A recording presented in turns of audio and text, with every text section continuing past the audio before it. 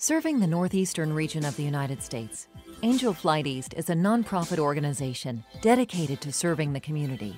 By providing free air transportation for children and adults with medical conditions who need to get to treatment far from home. Using their private planes and personal time, our pilots fly a variety of missions, from medical treatment to compassion flights and disaster relief. For more information, please visit angelflighteast.org.